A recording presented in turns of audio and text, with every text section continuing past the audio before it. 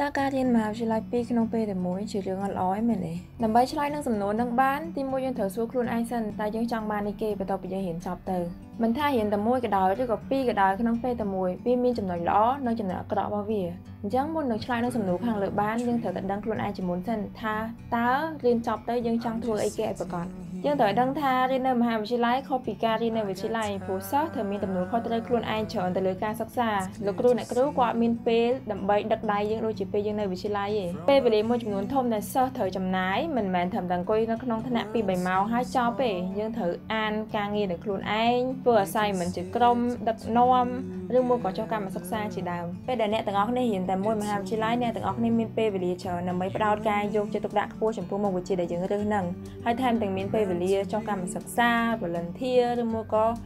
អាចចូលរួមកម្មវិធីផ្សេងផ្សេងទៀតបាន ព្រោះថាយើងអត់សូវជាមមាញឹកខ្លាំងទេអ្នកខ្លះក៏បានលើកឡើងថារៀនមួយមហាវិទ្យាល័យផ្ដល់ពេលវេលាឲ្យគាត់ធ្វើការស្រាវជ្រាវផ្សេងផ្សេងដើម្បីឲ្យគាត់នឹងធ្វើឲ្យមុខវិជ្ជាដែលគាត់រើសនឹងកាន់តែល្អប្រសើរឡើងឬមួយក៏គាត់មានជំនាញលើនឹងខ្លាំងតែម្ដងម្យ៉ាងទៀតរៀនតែមួយមហាវិទ្យាល័យក៏អត់សូវអស់លុយច្រើនបងសាលាឬក៏ចំណាយទៅលើឯកសារផ្សេងផ្សេងផងដែរយើងក៏អាចមានឱកាសធ្វើការងារក្រៅម៉ោងដើម្បីរកលុយបន្ថែមគ្រប់គ្រងការរៀនសូត្ររបស់យើងដែរហើយចំនួនទៀតបន្ទាប់ពីគាត់ចប់បាក់ឌុបគាត់រើសរៀនពីមហាវិទ្យាល័យក្នុងពេលតែមួយពីមហាវិទ្យាល័យក្នុងពេលតែមួយធ្វើឲ្យសិស្សគាត់មានការមមាញឹកខ្លាំងអាហើយសូម្បីតែពេលវេលាអានបន្ថែមធ្វើ assignment ក៏ត្រូវត្បិតត្បៀតដែរគាត់សើមានពេលលំហែខួរក្បាលរវល់ខ្លាំង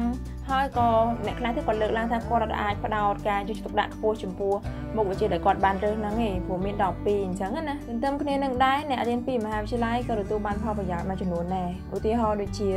យើងរៀនពីយើងស្គាល់មនុស្សឬក៏ network របស់យើងហ្នឹងមកពីពីតំបន់ពីមហាវិទ្យាល័យផ្សេងគ្នា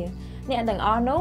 នឹងអាចជួយយើងនៅពេលដែលយើងចាប់ផ្ដើមប្រឡូកចូលវិស័យការងាររៀនពីមហាវិទ្យាល័យមានន័យថាយើងមានជំនាញ2ដែលយើងអាចរួមជំនាញទាំងពីរនោះបញ្ចូលគ្នាហើយបើកផ្លូវឲ្យខ្លួនឯងមានឱកាសកាន់តែច្រើនឡើងក្នុងវិស័យការងារឬក៏បើមិនអញ្ចឹងទេឧទាហរណ៍អ្នកទាំងអស់គ្នារៀនជំនាញ A1 នៅមហាវិទ្យាល័យមួយបន្តមកទៀតរៀនអក្សរសាស្ត្រអង់គ្លេសមួយចោល ចឹងនៅពេលទាំងអស់គ្នារៀនចប់អាច take part time job ជាគ្រូអង់គ្លេសហើយនឹង take full time job ទៅតាមជំនាញរបស់យើងពេញលេញមួយទៀតអ្នកមួយចំនួនទៀតរៀនពីមហាវិទ្យាល័យដោយព្យាយាមឲ្យជំនាញទាំងពីរនោះប្រតិគ្នាអញ្ចឹងបានន័យថានៅពេលដែលគាត់ចេញធ្វើការគឺគាត់អាចបូកជំនាញទាំងពីរនោះបង្កើតជា business មួយខ្លួនឯងឧទាហរណ៍អ្នកខ្លះគាត់រៀន business ហើយរៀនជំនាញអីផ្សេងមួយទៀតអញ្ចឹងនៅពេលដែលគាត់មានគំនិតផ្នែក business ហើយមានជំនាញមួយទៀតខ្លួនឯងគាត់បូកជំនាញពីរនោះបញ្ចូលគ្នាហើយអាចចាប់ផ្ដើមបើអាជីវកម្មខ្លួនឯងអញ្ចឹងទៅនៅពេលដែលយើងមានជំនាញពីរនៅក្នុងខ្លួនយើងមានផ្លូវដើរជាច្រើនហើយអត់ងាយតច្រកអីនៅពេលដែលយើងចាប់ផ្ដើមធ្វើការ